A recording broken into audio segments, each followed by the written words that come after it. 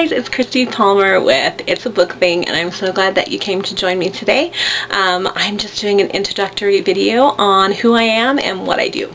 So like I said, my name is Christie Palmer. I'm a video blogger, a book reviewer, a blogger, and an author of two paranormal urban fantasy romance. I love to read.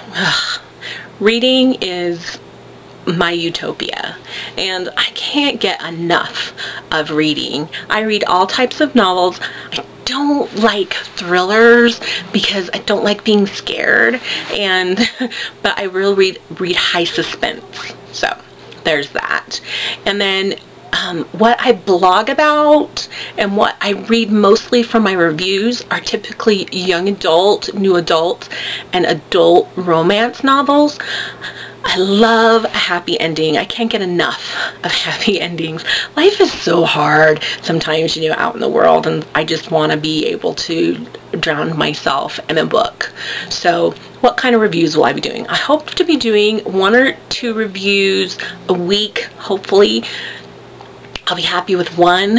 Um, I typically read about 10 to 12 books a month and I try to review a lot of them and you can get most of my reviews on my blog or on my um, author website and then of course I will be doing author interviews.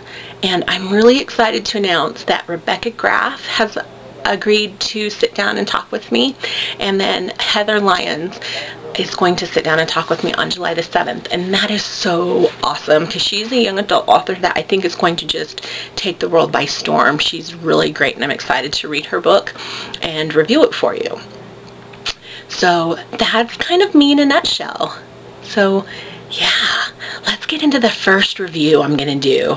I don't have a list right now of books I'm reading in June. I need to make that for you. Right now I'm reading Strong Enough and I'm reading several other um, Shatter Me and several other books. So I'm just reading a lot right now. Ice Rose is one that's coming up that I need to review. And so I'm reading a lot. Heart of A Matter of Heart and A Matter of Fate. Those are Heather Lyons books. And I'm rereading the first one because I'm going to be reviewing the second one soon and of course interviewing her on my on my blog. So those are my books that I'm reading right now. I'll have a better list when I do my June wrap up and my July to be read list. So I'm excited about that. So let me give you a little bit of a take on what I do for my reviews. So I'll give you a little bit of a little blurb about the book in my words and then I'll give you what I liked, what I disliked, my overall take on the book, and whether or not I would recommend it. Then I'll give you a heat rating from 1 to 5 and then I'll give you an overall rating of the book 1 to 5 stars. So it's kind of just like everything else. So the first book that I'm going to review for you is Wallbanger by Alice Clayton. This is a great book, okay? Um, here's what the book is about generally.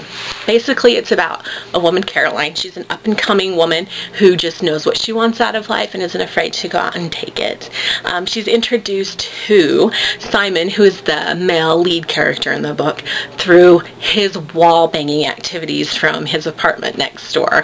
And I'll let your imagination go and decide what that might be. or you can grab the book because it's excellent. So it's a story about their friendship and how their friendship turns into something more. And it's just a fantastic read. I just really, really liked it. So, uh, third character in the book that I have to give a shout out to because he's just, he makes the book just laugh out loud funny. And that would be Clive, Caroline's cat. And I won't go into a lot of detail about Clive because telling you about Clive would ruin some of the stuff that Clive does in the book that makes him such a lovable character. So what I liked about Wallbanger. Wallbanger was just a fun read. It was really laugh out loud funny.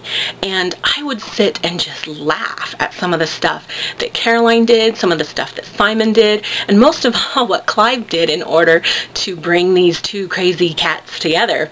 So it was really great. Um, what I disliked about the book is here's the surprising thing is I can find tons of stuff wrong with things but I couldn't find anything I really really truly disliked about the book Alice Clayton just does an amazing job with these characters. At one point, she just does just dialogue interaction, no explanation, no, you know, dialogue tags, nothing, just dialogue. And it's just a fascinating way to introduce a different style to a writing, and I just loved it. Um, so there wasn't anything that I disliked about it that I can think of off the top of my head. And I even reread the book because I read it in the early part of the year. And so I reread it last night in the hopes to find something that maybe I could dislike about it. And there just wasn't anything. It's that good. So um, overall, you kind of got my overall on it. So on a heat level, I would say it's probably a 4 towards the end. So if you're looking for something with not a lot of bedroom action, then I probably wouldn't pick this up. But if you don't mind that, then definitely pick this up because it's hysterical. It's hysterical, it's funny, it's a heartwarming story. You'll fall in love with Simon, you'll wish you were Caroline, and all the above. so a heat level 4. Overall rating, I gave Alice, I gave Wallbanger by Alice Clayton 5 out of 5 stars. It was that good. So if you go to my blog, you'll see on the right hand corner the top my top reads for the year so I really hope you like what I had to say today um, leave a comment um, like share subscribe I love to hear from um, other book reviewers and people who enjoy reading. So here's what you can expect coming up this week. Um, on my blog, I'll be doing several um, guest posts and I'll be doing a couple of reviews. So I'll be review reviewing strong enough and then a book called I think it's called Ice Rose. So check those out. I'll be reviewing those this week on my blog and then of course um, my upcoming features with a couple of authors. You won't want to miss that. So thank you so much